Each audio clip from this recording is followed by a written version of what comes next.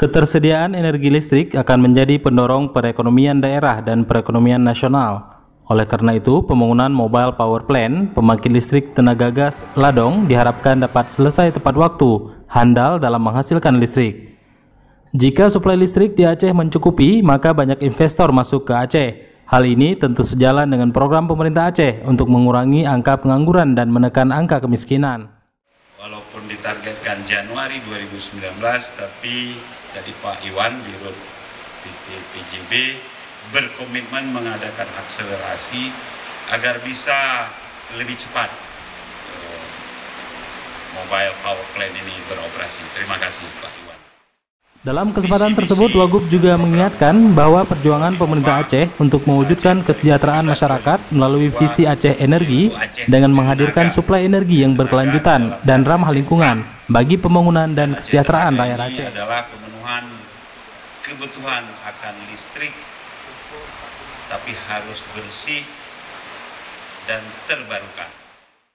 Saat ini, berdasarkan data Kementerian Energi dan Sumber Daya Mineral, rasio elektrifikasi yang dimiliki Aceh mencapai 96,69 persen, lebih tinggi daripada rata-rata rasio elektrifikasi nasional yang saat ini sekitar 92 persen.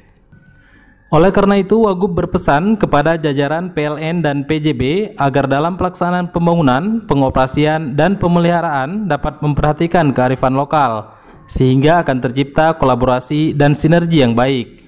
Wagub juga mengapresiasi kebijakan PT PLN yang telah merekrut tenaga lokal Aceh.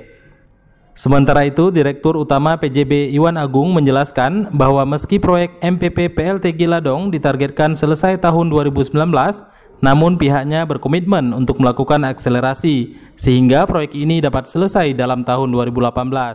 Kapasitas 50 MW dan insya Allah segera disusul dengan pembangunan mobile power plant tahap kedua di tempat yang sama juga dengan kapasitas yang lebih besar yaitu 100 MW.